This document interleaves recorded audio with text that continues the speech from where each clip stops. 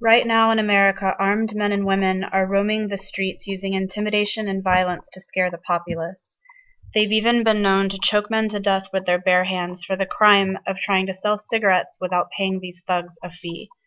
They can be recognized by their blue street clothes and tend to be heavily armed. It's time we talk about America's gang problem. Not these gangs. These guys. Let's define gang. As a noun, it means an organized group of criminals.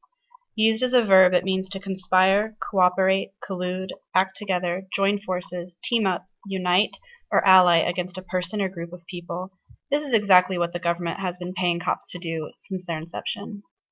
Annually, cops kill over a thousand people, with around 20% of those being completely unarmed. Just like other street gangs, cops routinely use unnecessary violence as a means to an end.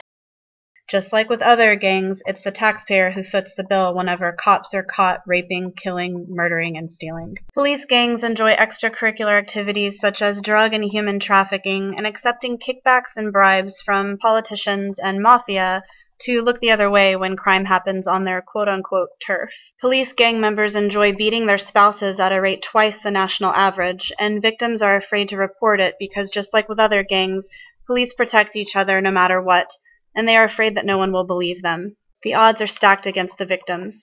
Police gang activity in America has gotten so bad that other gangs who are normally sworn enemies of each other have called a truce just to come together to fight police brutality. You know things are bad when other gangs take a break from killing each other to protest your violence.